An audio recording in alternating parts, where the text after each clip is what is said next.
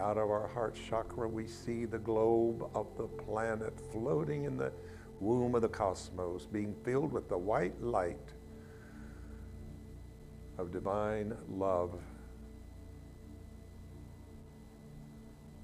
As we take a deep breath, we all seal this prayer with the words, and so it is together. And so it is. And Spirit just says to tell you that I have answered even before you have asked. It is done. Oh, we're on. Hi, everybody. Good morning. Good morning. Good morning. Good morning. Well, welcome to all of you that are at the Wednesday morning class that are present. Thank you for coming. And to you that are joining us online and you that will join us later. This is the beginning of a new class in which we're going to focus on setting the context so that we can have the content. Hmm? The context. The context is kind of the bigger picture of where the smaller perception fits into. And without understanding that, I think uh, we sometimes are more vulnerable to uh, teachings uh, that are out there that may take us away from our own inner truth. And that's what we're trying to rely on and get in touch with is the innate truth that is in us. And you that have been in this class a long time know that the truth with a capital T, somebody tell me what the truth with a capital T is. Ooh. Don't make me repeat these classes.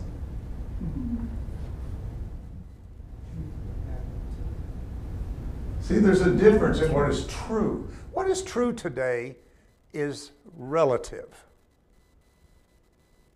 Just watching the um, State of the Union last night and realizing that everybody sitting there believes that what they believe is true. And if you if they believe what is true is different from what somebody believes is true, who knows what the truth is? So we're kind of just making up what is true right now. But I'm not talking about true and truism. I'm talking about what the truth is. So I'm going to back up again and go through this again. Jesus, Yeshua the teacher, my sample example I'm going to use today, stood before the powers of his time. The political power of his time, which was Pilate. And Pilate said, according to the English version of the Bible, Tell me what is the truth. And when I read that the very first time, which was a long time ago, I just assumed Jesus would start out with some kind of Old Testament scriptures or start out with something trying to convert him into what was the truth. In other words, the truth was a construct, the truth was a philosophy, it was something that you believe. But I was shocked to find that he said nothing. You ask uh, any, any type of Christian what the truth is, they'll give you verse and scripture and verse, uh, chapter and dogma and all this kind of stuff because they're trying to convert you to what they believe is true.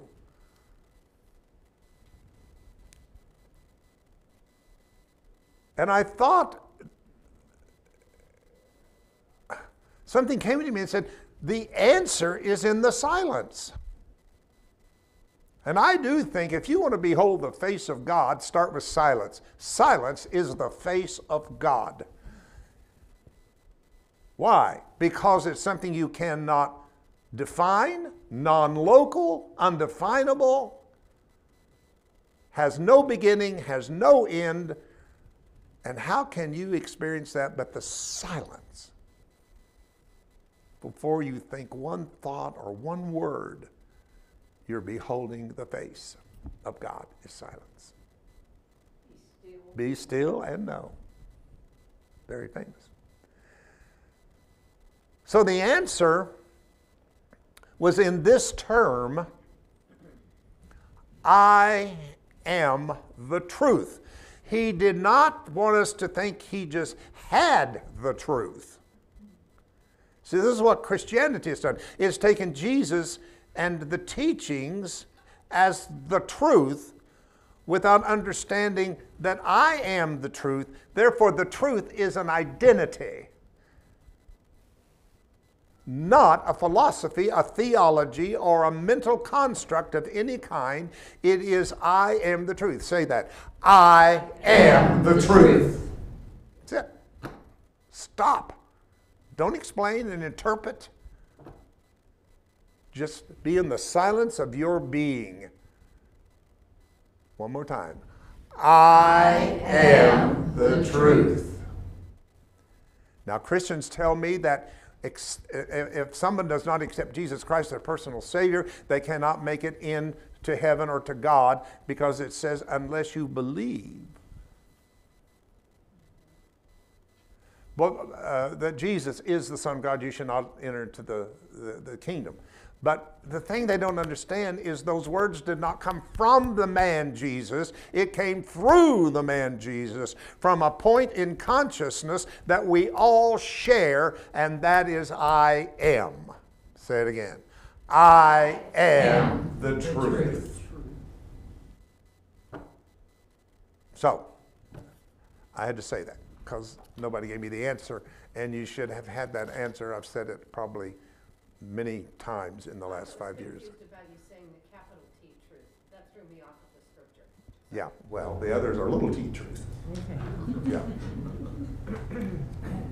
Yeah, capital T. If I say capital T, I mean capital T truth. We're in that way.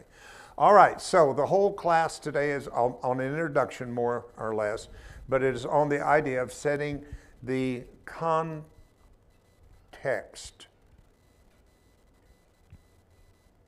which has completely, as far as I'm concerned, been ignored throughout Christian teaching. So, we're about to embark on a, I think, exciting and uh, great adventure. The path we will take is an unusual journey into the mysterious and often elusive world of the Near East. Again, I will share with you and to those who are online that maybe have not heard me talk about one of the great seedings of my higher self was a realization that nobody in the Bible spoke English, which is assumed by most Western Christians who take their definition about God and spiritual things from a text such as the Bible. And the answer to that is which Bible? Now, in the time I was being raised up in fundamental Christianity, it was pretty much settled on the King James Version.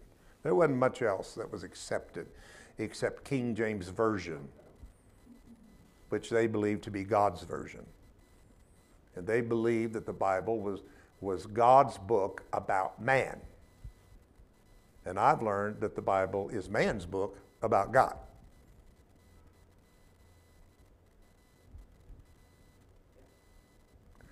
So I realized that if no one spoke English, what did they say?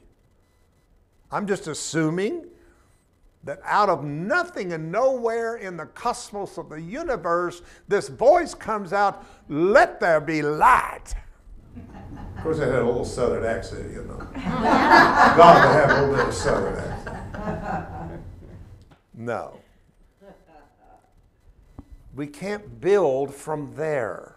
We can't build upon the languages that are the furthest interpretations from the original context of language and culture in which these people embodied.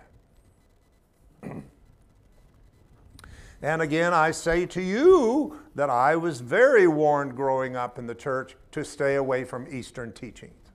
Isn't that a little bizarre. Control. When everybody in the Bible came from the East, and I was supposed to ignore anything that came out of the East, and like Jesus didn't, Not from Poughkeepsie. that he maybe was born somewhere in Kansas in a barn or something, I don't know. I mean, th- these are just common sense points in which consciousness, real consciousness, starts coming alive in your human consciousness. It's the seedings of spirit. I gave you I gave you a scripture Sunday or a couple of Sundays ago in Matthew 24 and 7 that tells us, For as the lightning comes from the east and shines to the west. That's King James Bible. What do I hear? Matthew 24 7 says, For as the lightning shall come from the east. Now, lightning, oh my God, I could just talk on that. I mean, lightning is an electrical charge that happens in the magnetic field part of your brain.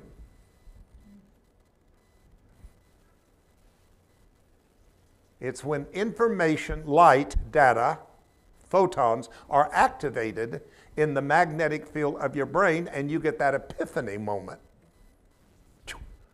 It's like lightning. I get it. You ever had that happen? I mean, it wasn't even a situation of arriving mentally to that, it just came in.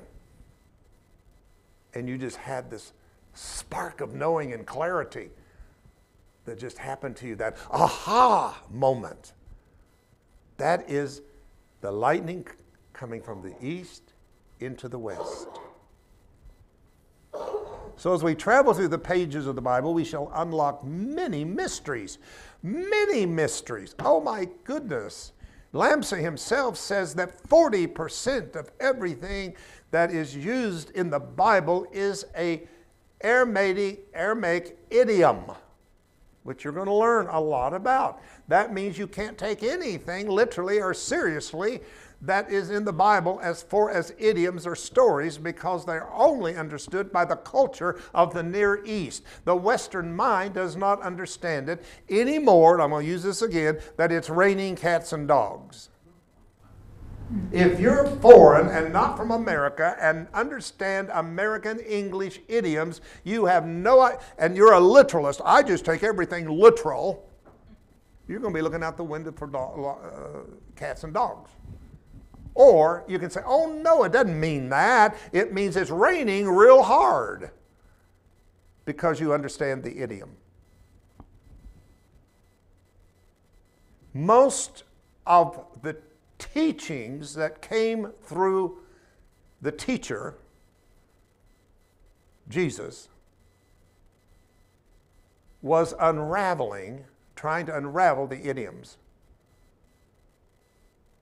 And that's why he's, it's recorded that he said in translation, My words are in the parables. Don't you get it? Where's his word? In the parables. Oh, it's not the parable. It's not, it's raining cats and dogs. It's in the definition and the meaning of what that means that comes into you. And you go, oh, I got the meaning of what was said. If you don't, all you're going to do is download it in your head and have a, another mental construct of something and then you say, I believe in it without understanding it. There's nothing worse than qualify a belief you don't understand. Because the power is not in the belief, the power is in the understanding of the thing that you believe.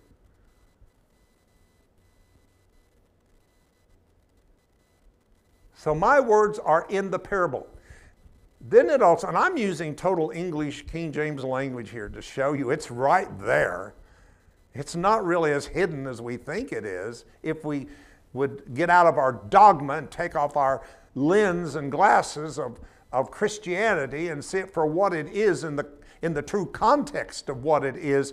People, I, I, I tell you, you wouldn't have to go through years of theology school to learn this stuff. It just takes good old innate common sense to get through some of this kind of outward perception that is being believed in as fact.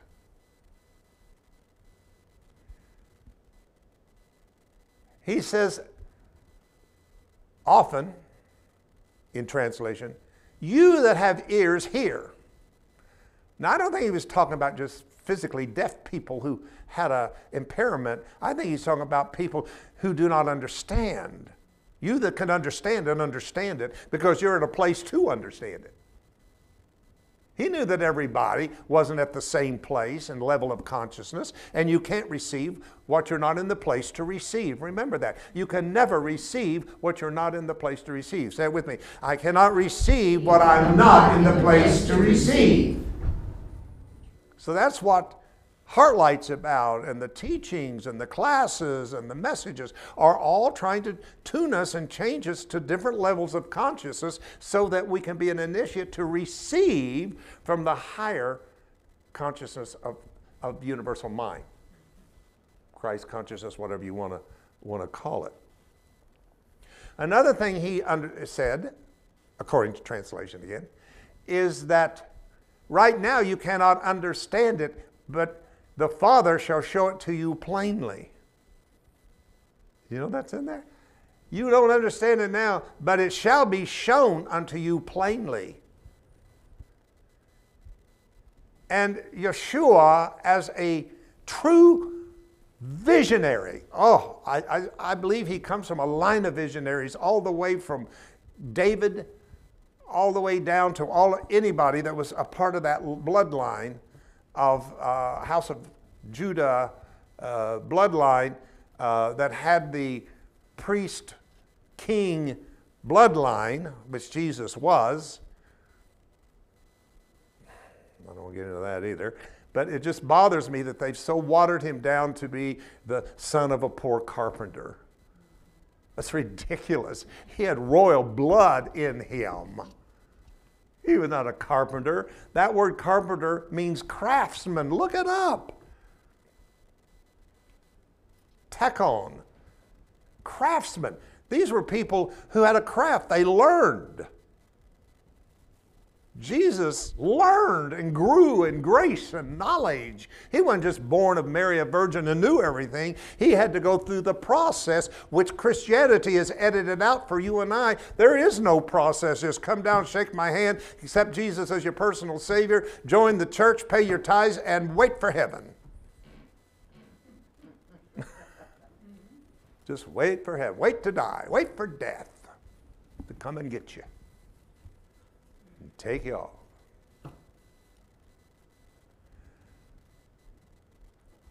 So, what we're going to talk about today is from the influence of my mentor in 1990, uh, Dr. Rocco Errico. Dr. Errico is the true protege of LAMSA. He worked with LAMSA and he continued to take LAMSA's work to levels that LAMSA never attained in his lifetime. When I first heard about that Jesus most likely spoke the Aramaic language, I was fascinated enough to check him out. He is the founder of the foundation of Noohra, N O R N O R H A, which means light in Aramaic, the Noohra Foundation. I found out that they were having an intensive workshop, week workshop, in the mountains in California, about two hours out of Los Angeles. And being young and brave in those days, I don't think I would do it now, but I literally flew to Los Angeles and rented a car and drove two hours my gosh, just on getting through LA is a accomplishment. And drove up in the mountains to this wonderful, powerful retreat in which we learned the Lord's Prayer in Aramaic.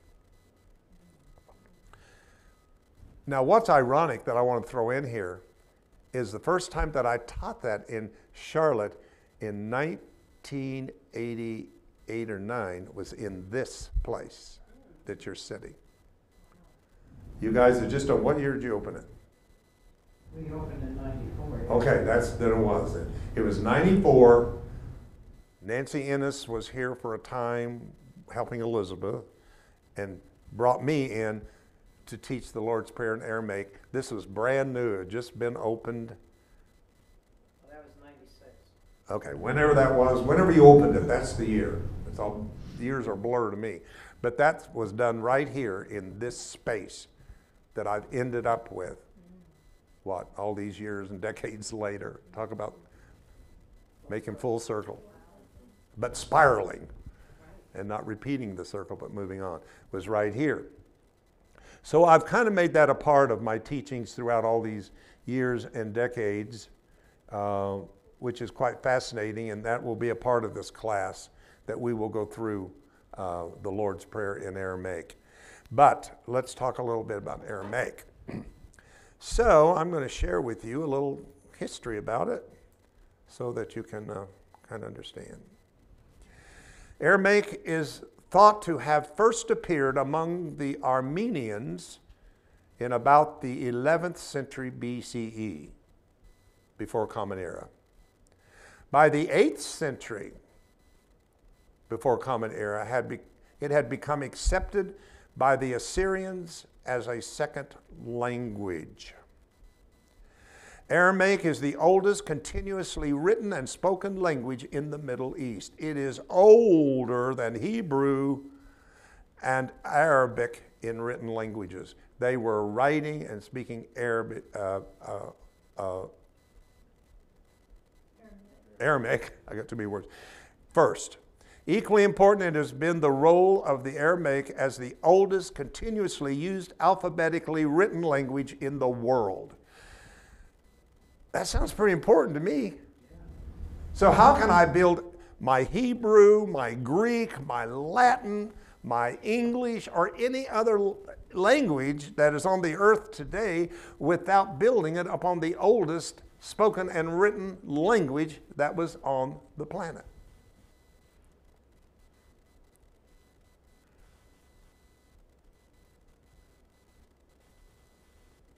Okay.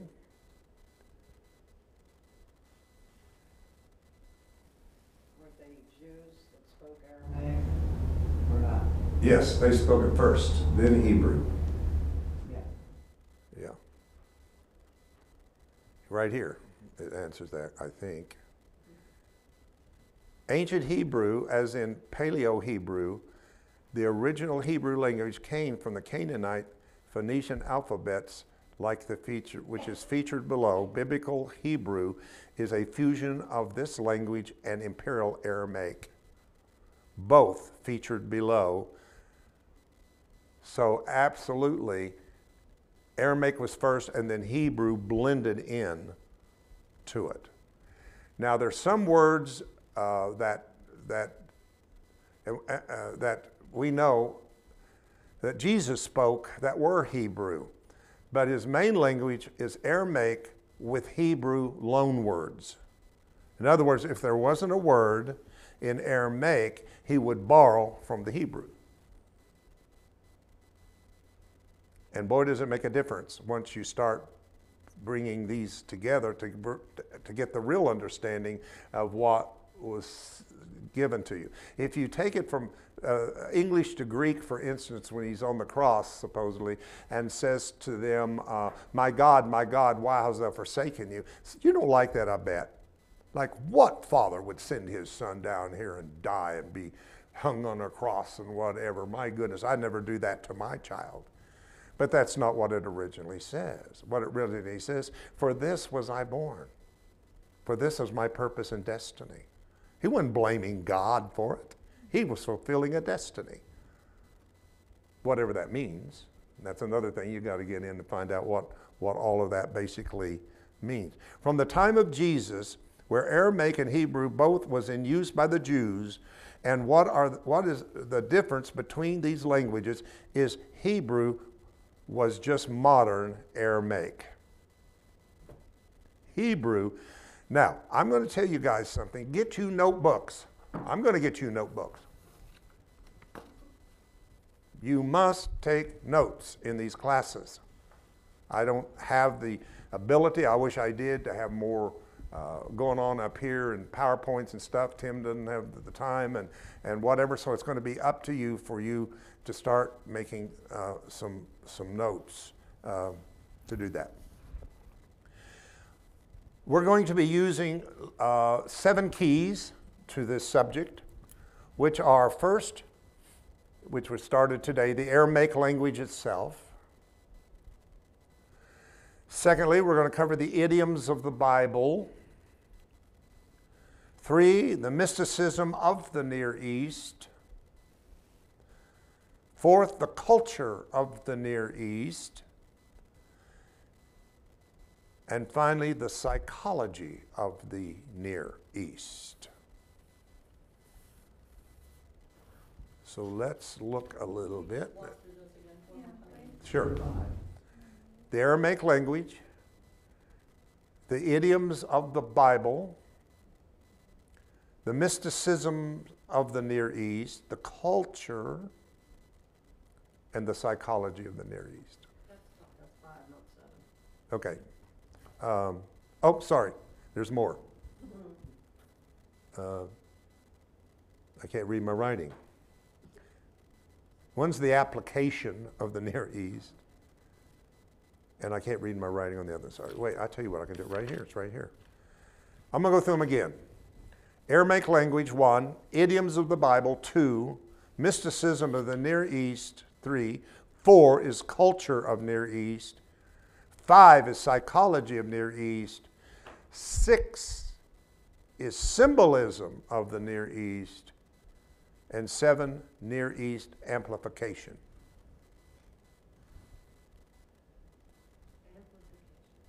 Amplification. Why seven? Because in the Eastern Eastern people believe that numbers have more meanings than just numerical value. They believe that the number seven is the most sacred of all numbers. An Easterner usually sees the number seven in his everyday conversation. Much like in Soul Energetics, we look for three, six, and nine, which is Tesla's quote when man understands three, six, and nine, he'll have the key to the universe. The biblical authors used the sacred number seven even more frequently in their writings. Some Bible author- authorities claim that the adoption of the number may have come from ancient belief that there are seven planets. So that's why we don't use seven in numerology as completion, as I was taught in Christianity that seven was completion because of this idea of uh, the, the seven days of creation, which there wasn't. There was only six. I don't know why they say seven because he rested on the seventh, so they don't even have that quite right. Um, you know, they don't know what they're saying half the time, even their own Bible for what it says. Um, and the fact that it was uh, in a time which we had less information about ourselves and our galaxy and universe. That's all changed. So you can't say that seven's built upon the fact there's only seven planets because we know better than that. So that's why we more follow the Pythagorean numerology path that the number of completion is nine, not seven. So I want to make that clear. Can somebody tell me why nine is completion using the numerical Pythagorean uh, scheme? What's the last number before you go into one and zero? Exactly. Nine. When you go to 10, what is one plus zero? One, new beginnings. New beginnings. So, and I taught that for years, that eight was new beginnings, because that's the Christian take on it. But that is not correct. So we have to do a little updating as we, we go along with some of these things like, like that. So the seven, uh, what they believed was the sun, the moon, Mercury, Venus, Mars, Jupiter, and Saturn. It's very important to know that the Eastern setting in which the Bible originated. We often forget that the sacred literature itself is an Eastern book. Let me give you one example, it's kind of interesting. One time, Jesus, two things it says. One, he spit on the ground and made some mud and put it in a guy's eye. That ain't good Western stuff. I would not suggest that you go out and make some mud and put it in somebody's eye. Another place, he literally put spittle in somebody's eye without the mud. What is going on? See, those stuff are, are ignored because that's uncomfortable. We wouldn't do that, so let's just ignore that. But actually, if you would have been a Near Eastern person and understood the custom, what he was, uh, there was a belief at that time that the spittle of the firstborn son of a family had some kind of magic in the spittle that healed people. So, what he was saying, using the, uh, the method of teaching at that time, was I'm the firstborn. I'm the firstborn, which metaphysically means I'm one of the first ones to know that God is incarnated into the human story. Yeah. Isn't that great? I'm the first one. I get it. He began the whole ability of incarnation of the divine into the human. And then he said, Oh, make them one. What a great prayer. Father, make them one. What does that mean? Making your human and your divine self one new creation. You get it? That, that makes you born again. You're no longer just of a human species believing in a spiritual religion, but now you become the Spirit itself incarnated and manifested in human flesh. And He was the first to get it. Somebody said, no, no, Buddha did not get it. No, Buddha got enlightenment, but he didn't get the divinity thing at all. None of the other teachers did. Jesus is the only one that brought in the universal mind of God into the human story. And let me just throw this in. How he got there was not being born of Mary, a virgin, 33 years ago or 30 years ago. He got there by many incarnations from the first Adam to become the last Adam. Did you? I got that verse for you. I gave it to you. Oh, she has it for you. he asked for that scripture.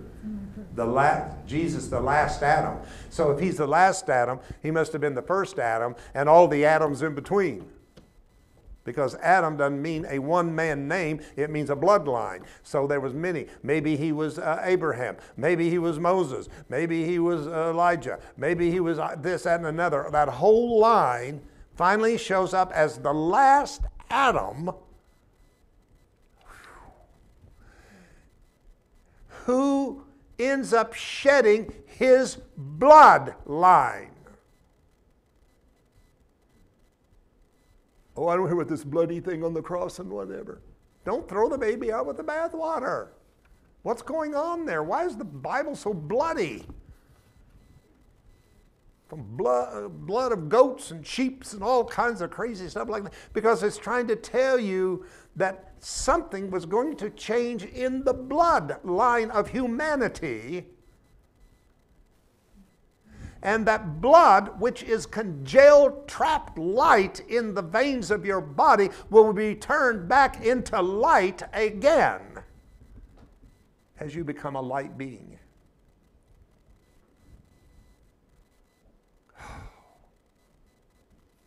That's why this story of the transfiguration is so important when Jesus goes to the high mountain. Never's those words in the Bible again. There's hills and there's mountain, but this was the high mountain of consciousness. He went in such a high state of consciousness that what was in him outweighed him and he immersed himself into his own inner self. He took his outer self and immersed himself into his own inner self until he wore, as it were, a garment of light.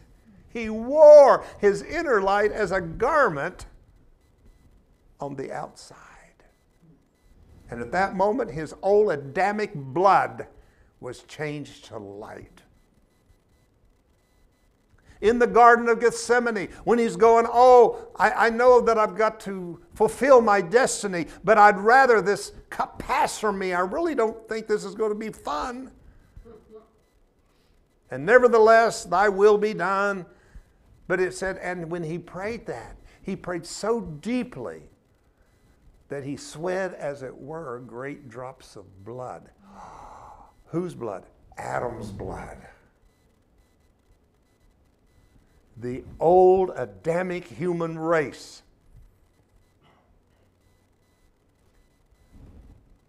I got to give you this scripture. For life is in the blood. Scripture. Life is in the blood. Another. And the life is the light of men. Why? Why, haven't they connected these dots? I don't understand. Why they can't read their Bible right with spiritual eyes and see that life is in the blood and that life becomes the light of men. Look me up and find out that they know that your blood is congealed light. It is light that is caught in the density of the human body and turned to blood. But when your blood is turned back into light, it will outray your whole humanity and you will wear your inner divine self on the outside. And you know what some people are calling that? The Merkaba. The Merkaba, the light body. It's, it's just, it's there. It's just there. Wow. You know me, I go up on little trail, trails, but I hope that it's Spirit that's doing it, not, not just, just me. The majority of the teaching was written in the Semitic, to Semitic people. You have to understand Jesus' method of teaching. He was a rabbi, which means teacher. Now, even metaphysical, unity, and all of that, except the fact Jesus is the way, shower, and the teacher. They'll let you go that far. Which I appreciate that because there's some metaphysical that won't even go that far. They don't know nothing about Jesus at all. He, they discontinued him completely, and that is too bad for me because I think you, everyone, need a map, you need a sample, and you need an example. So when you're in these teachings of we're going to become spiritual people and we're going to become light beings and we're going to have these new bodies and all this kind of thing, what is your prototype for that? How do you get there? What is your map and road to get there? Or are we just talking goals? Which the, the human mind says, if you just believe it, it'll happen. Hey, let me tell you, after 60 years, it don't work. I believed some bizarre things. I mean, believed it. I believed it.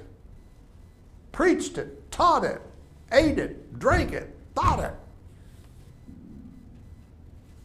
Because until I understood the prototype, what would it look like if I was whole? Now, we talk about that a lot here. We're whole. What does that look like to be whole to you? Well, if I was you, I'd pick someone like Jesus or somebody that, if you can find another one, go for it. And say, what it'd it be like to be able to speak to one, one form of, uh, of atoms and molecules and repattern it through alchemy from water to wine. That wasn't magic, it was science. Jesus was science. He was a quantum man. It's taken us 2,000 years to even catch up. That's why he said, I'll show you the way. I am the way. And religion thinks the way is back to him. No, the way is from him to you. I'm going to show you the way to you, the one that's buried in the grave of your mind. and you've rolled the stone over it. And now you think your DNA is written in stone, and you think your ancestry story is written in stone, and there's nothing you can do about it. I say, roll the stone away. And say to that which you thought was dead, Come ye forth.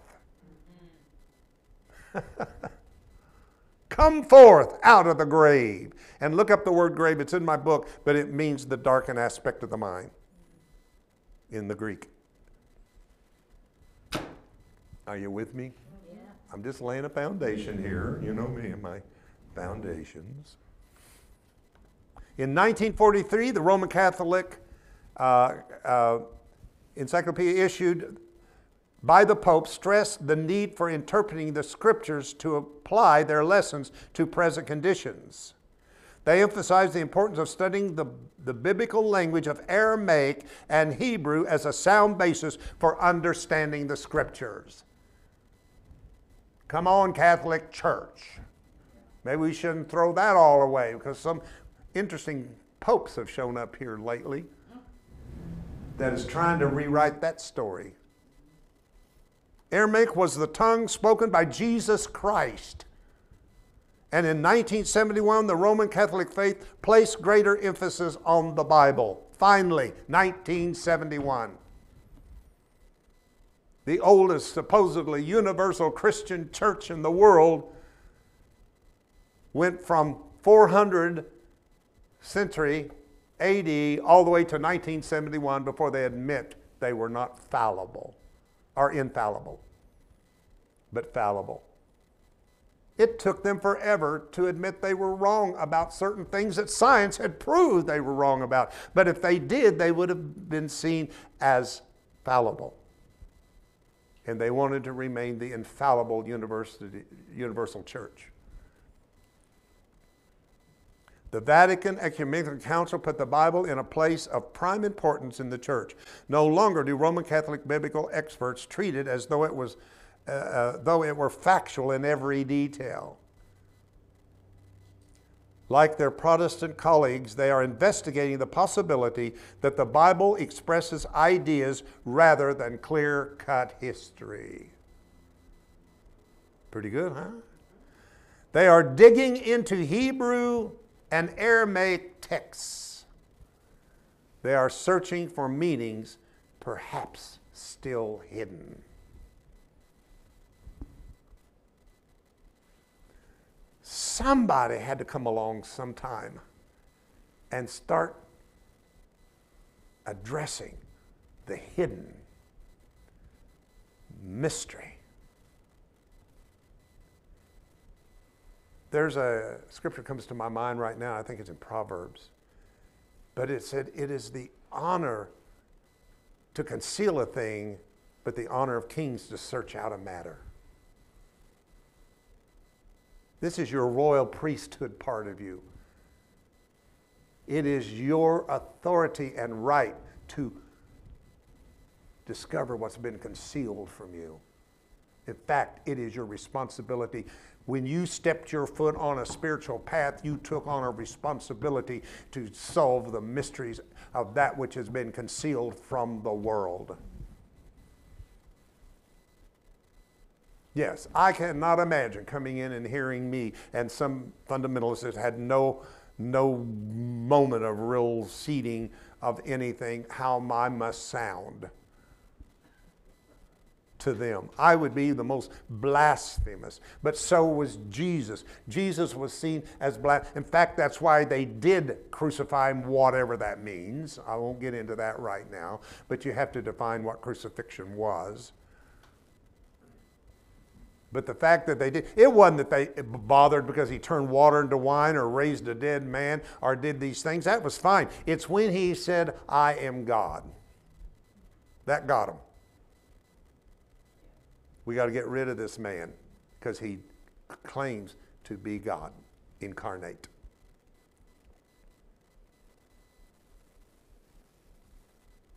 And trust me, if you walk out of here and start telling people you are God, little G O D, they'll try to crucify you. one way or another, because they'll, they'll do it. Another scripture comes to me is Jesus saying to them that they shall cast you out of the synagogues and kill you, thinking they have done God a service. You know, that's going on in this world today, that people are killing other people because they think it's pleasing God, their God.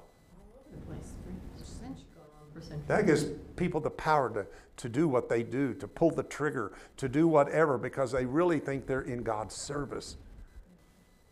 So did Hitler. Get rid of the Jews. When you get rid of the Jews, because they have the seed of the devil in them. Because Adam, um, Eve, and, and uh, the serpent produced the seed of the serpent. That's what they believe. And that was the Jewish people. The, the hatred for Jewish people has been the fact that they hold the seed of the serpent in them. And when you get rid of a Jew, you get rid of the devil.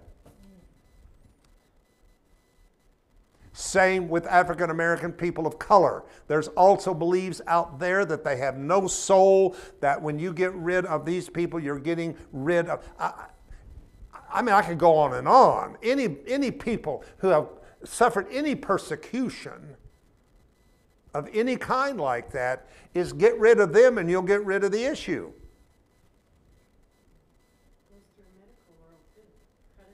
It's all over. It's all over. Oh, I didn't want to go there. That's, that's too much. I know that's too much. But I've studied these things years ago. I've walked among them. I've walked among them in the Ozarks and the mountains of Arkansas. I told you about teaching in this place. Oh my God, it was the scariest place. I don't know how I got there. In, in the Ozarks somewhere, and this guy sat on the front row with a knife this big, cleaning his fingernails, and he looked like he'd crawled out from a rock somewhere. And when I got through, I said, Anybody have anything to say? He said, Well, I have one thing to say. Hitler did not finish killing those goddamn Jews and homosexuals. And I looked at my friend who was with me, who was gay, and my, his friend, and we looked at each other like, stay cool. and let's just wait and we'll slip out as quietly as we can. oh, the stuff I've been through, let me tell you, it's crazy. But British Israelism, I tapped into that back in the 70s. British, only white American, British, Europeans are the race of Adam. And they're, they've got scripture for it. All this stuff they got scripture for. You can get scripture for anything you want if you've got to believe.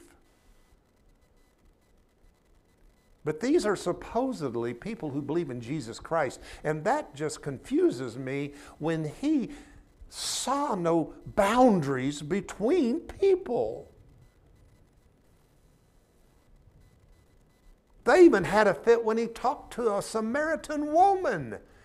The fact that he talked to a woman without her husband and a Samaritan who was not just of the Jewish, you don't do that, Jesus. You're Jesus the Christ. You don't do that.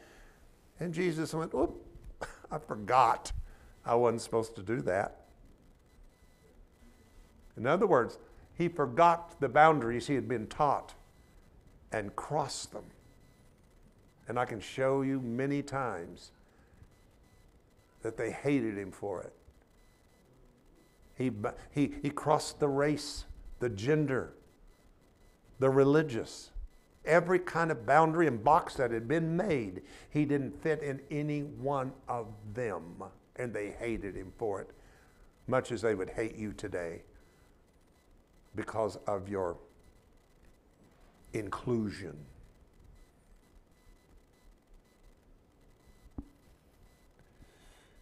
Oh, so much.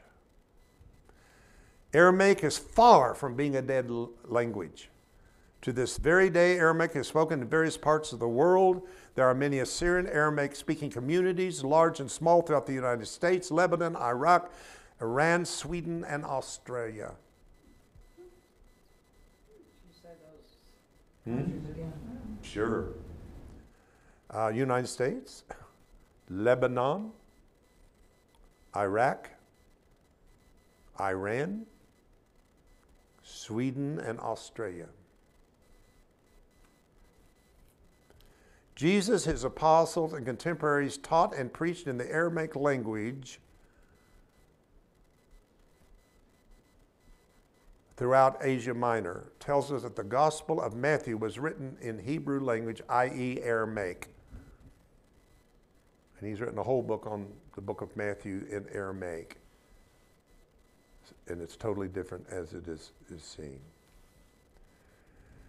The Bible is filled with idioms and idiom phrases. Let me give you the most bizarre one I can think of right now is when I was doing my ministry as a young man in Alabama, Mississippi, Louisiana, and all the deep, deep South, people would approach me and say, We have brought rattlesnakes. Can we bring them into the service? And this had become a part of the very deep Pentecostal, a certain sect of Pentecostalism, which took the scripture, For ye shall handle serpents, and they shall not harm you. You shall drink poison, and it shall not kill you.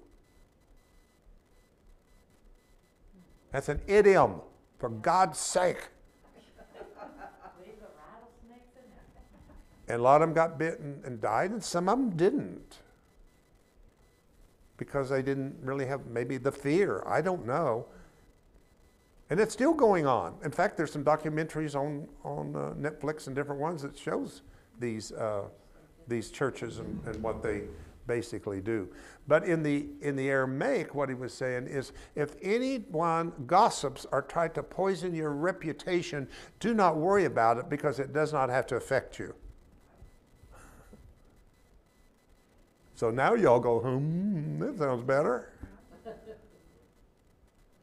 Because poison is in the tongue. Even the Bible says that. People could disregard your reputation, lie on you, try to destroy you, whatever. But it says you don't have to give in to that. It does not have to harm you. You know who you are, you know you're the center of your power. How many of those things people have bought into in which they've missed the true power of what was being said through the idioms? Our time is um, moving on here, so.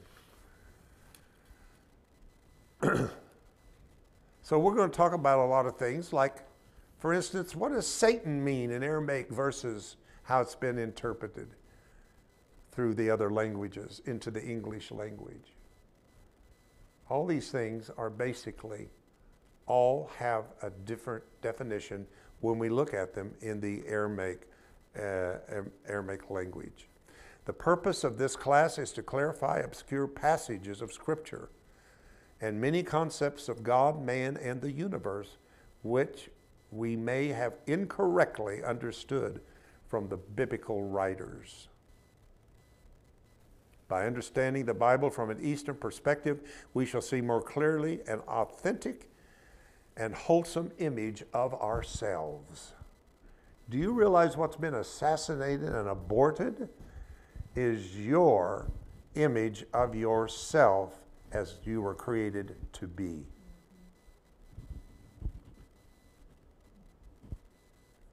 The Bible says that the word can be as sharp as a two edged sword. I want to talk about that just for a moment. I've got a few minutes.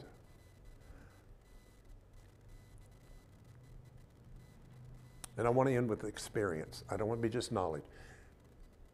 And I've told this before, but I failed to do it again. When I first received what was called the Holy Spirit and had the experience that transformed and changed my life and put me on the path that I've been on for 60 years, I now see it as a penetration of divine mind penetrating human mind. Why? Because I opened my womb, the womb in consciousness when I opened the womb to receive. See, that, that's the story of Mary. Mary wasn't getting it because she didn't open her womb to receive it. I know no man. I don't know how this is going to happen. She was totally closed. And that's why it said that she needed the Holy Spirit to prepare her so her womb would be open so she could deliver and bring forth. Now, take that metaphysically. All of you have a womb in your consciousness. Did you know the word womb is translated five times in the Bible, matrix?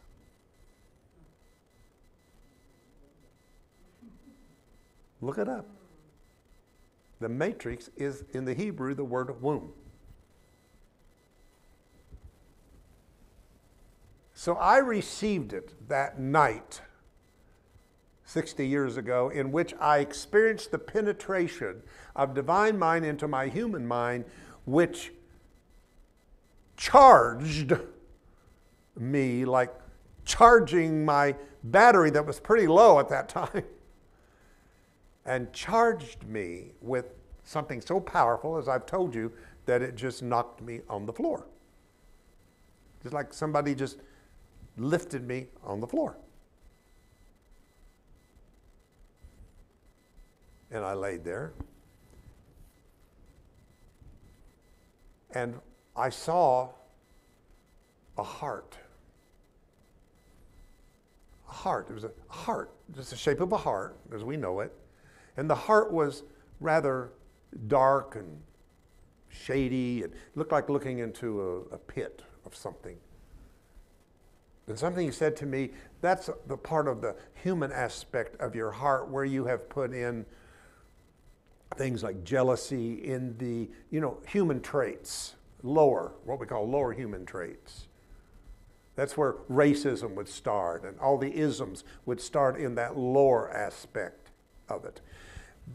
But but what happened that I want to share with you is in the midst of all of that was the most beautiful, tiny, luminous, white heart I've ever seen. In fact, I could never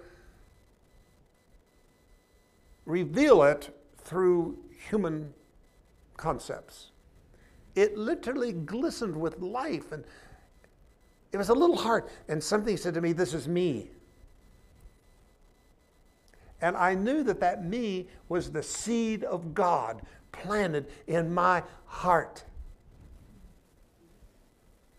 And the next thing that was formed in my consciousness was feed me.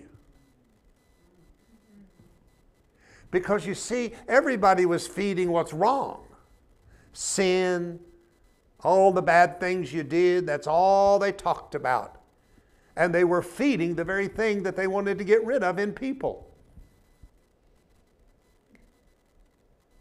They were, they were energizing the very thing they wanted to get rid of by addressing it all the time and talking about it. And they were neglecting what was trying to grow in them was the Christ seed, the sperm of God the DNA of God placed in them.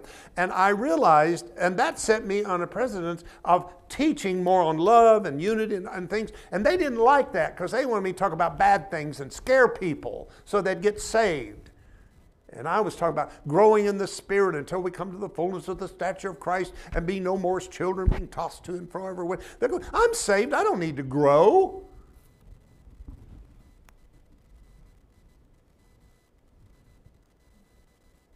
And I knew that was Christ in me, the hope. Now, and our time's going to run out, but I'm going to finish this. Is that okay? So I was a part of a movement that happened in Tulsa, Oklahoma in around 1962 when all this took place. And I've told you about it. It was a phenomenal thing of this little church, and they knocked the wall out and put a tent until there was oh, several thousand people that ended up in this eight week revival every night. People were just being drawn in. Some people thought they saw fire on the roof, and there wasn't fire, it was Holy Ghost fire.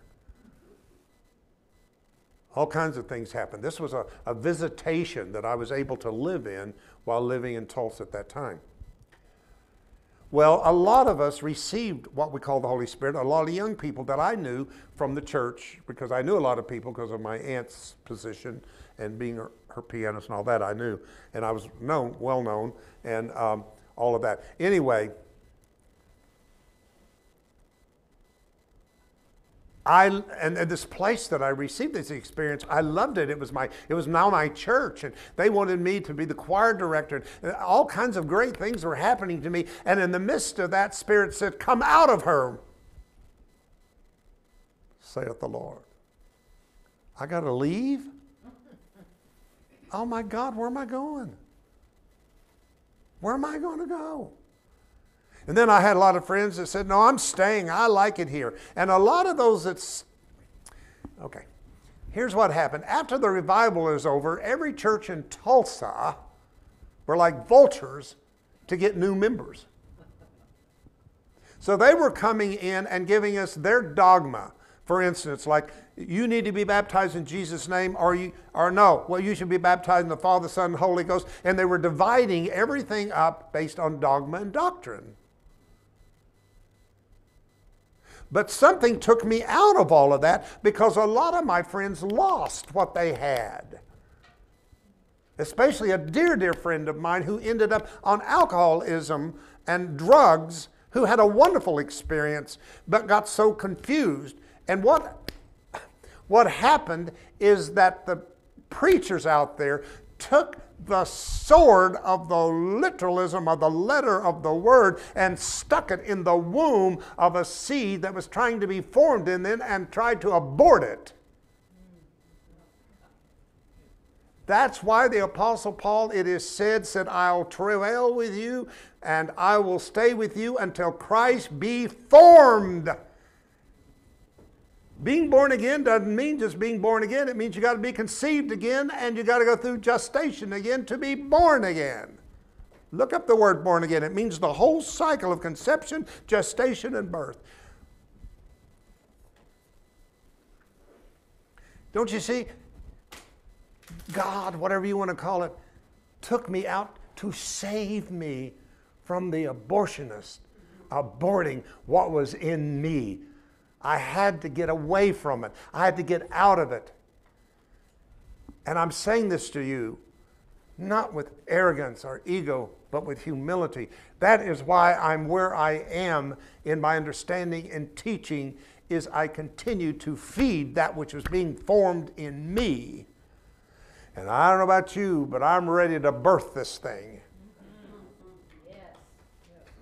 Mm-hmm. Yeah, it's getting a little uncomfortable in this period of gestation that we've been carrying. Ah, let's all take a deep breath. I hope that you're going to enjoy so much of what we're going to go through and understand, and also the little sidelines that uh, Spirit shows up for. We don't want to just take a book and just read it and do that. We also want Spirit to speak to us and to guide us in that way. Holy Spirit, thank you, thank you, thank you, thank you that you are the voice of God at the human level that we can receive teaching in ourselves and understanding and remembrance and guidance. We totally release the outcome of these classes to you. That your will will be done and your purpose shall be accomplished for this class. That you will draw who's to be drawn to this class both here and online and later. We are still in such a time of correction. For we're looking for that Word of God that is inspired, that is profitable for doctrine, correction, and reproof. As we rid more and more the dead bones of man's traditions and become a clearer, cleaner vessel for your consciousness to flow through into the world. We thank you for showing up in these classes. And now we call, invoke the blessings of El Elyon, the Most High God, possessor of heaven and earth, without mother, without father, without beginning or ending of days, of the divine Melchizedek order of an endless life. And so it is. So Whew, y'all are wearing me out. In a good way, in a good way. All right, please remember your uh, support and offerings are so important to the class and to keeping us free to, uh, to be what we need to be in spirit. And I thank you for it. Do need your continuous support. Thank you so much. Thank you so much. Thank you so much. All right, again, Sunday, for you that were not here earlier, is a time change. Meditation starts at 10:30. Doors will be shut, and uh, we decided that if people come a little later and want to, these doors will be shut, and you can sit in the in the lobby and meditate with us if you come later than 10:30. We're that's what we're trying to do. If not, you go next door to the lighthouse where there'll be some coffee, maybe water for tea, and any anything anybody wants to bring. Uh, if you want to bring something for a healthier uh, uh, snack of some kind, uh, that's fine too. It's up, up to you guys to do that. So please um, realize that we're doing a little adjusting and changing uh, starting this this Sunday. Thank you so much for coming out. Appreciate it. Have a great day. Have a great rest of the week. And we hope to see you Sunday at 10:30 for meditation, 11 for service, and next Wednesday for yoga. yeah. And a couple quick things. Reminder, we do have sacred geometry on Friday. Ho- Hold on just a second. A reminder that we have our sacred geometry on Friday Yes. Thank you. and our intro to Tantra on Saturday as well. Yeah, let's talk about that. I really don't know how these two things kind of went back to back. That wasn't probably the uh, wisest thing to do, but it's just the way it is. So I know uh, some of you are going to have to make some decisions. I definitely hope that you will come Friday night for the uh, sacred geometry and learning that because that's going to be a precursor to some of the workshops that we're going to be doing here pretty soon in the next couple of months or so. So anything that has to do with sacred geometry, the golden mean, ratios, and all of that, which is the language of the universe, is what you're going to learn. You're going to learn how the universe, that maybe God was an architect with intelligence. and had an intelligence to it to come out. And that starts, I'm sorry, uh, is it f- 7 o'clock? Friday at 7 o'clock. And uh, Sandra, how, Sandra, Sandra. Ah, there, I got you, I got you, Sandra. Uh, how long you plan to do this? 7 o'clock to? 8.30. Okay, 7 to 8.30 on Sunday. And of course, I want to promote uh, Kara's Friday. Uh, so Saturday is Kara's, and that's in the Saturday morning. So that's a lot that weekend. I know for you that drive, that's, that's a lot. So uh, I know I know she has some good things. I know that. I've talked to her. She's very intelligent, and uh, I don't want you to get closed mind that you think all tantra is about uh, sexual and people having sex and all that. It's uh, it goes much much more beyond that. So if that doesn't work for that time, maybe that can be repeated at another time, or And- we will. We'll And try for that Saturday class, I will be streaming that. So for There you those who go. came on Friday and can't come Saturday, I will stream that There on you go. So Saturday. you can do it on streaming on Saturday or download it even later. Uh, that'd be fine. I'm going to try to do all this. We'll, we'll see how it goes. But then I have Sunday to consider and think about too. So we're busy here at Heartlight, which is a good thing. You know, we're a thriving, living organism, not a dead organization. So we're ever, ever growing and maturing. Thank you so much. Have a great day.